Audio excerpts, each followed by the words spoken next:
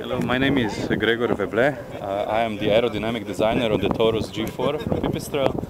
Uh, and I will be explaining a bit about the design of the aircraft. Uh, our project leader Tine came up with the design of this aircraft, which is a twin fuselage uh, design.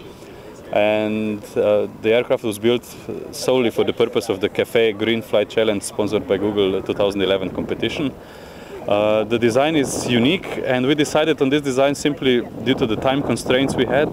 We wanted to build the aircraft in the shortest time frame as possible and it made sense to just use standard aircraft parts, uh, namely we used the regular Taurus wings and fuselages. We put together uh, a special a central wing section and then just assembled everything together and this is the result you see here.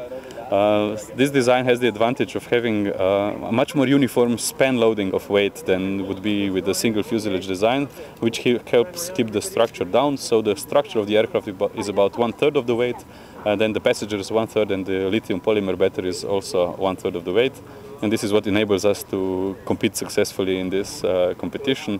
We will hear about the results in about an hour, but uh, we are very happy with the performance of this aircraft. So what electrical uh, flight distance that you can fly? Oh, we could do uh, over 300 miles currently with the batteries installed. For the competition, we had to fly 200 miles at at least 100 miles per hour. With four people? With four people on board. Of course, in the competition, we didn't have four people on board, just the two pilots, Dave Morss and Robin Reid. Uh, the rest of the uh, weight was taken up by ballast. Okay, can we take a look here?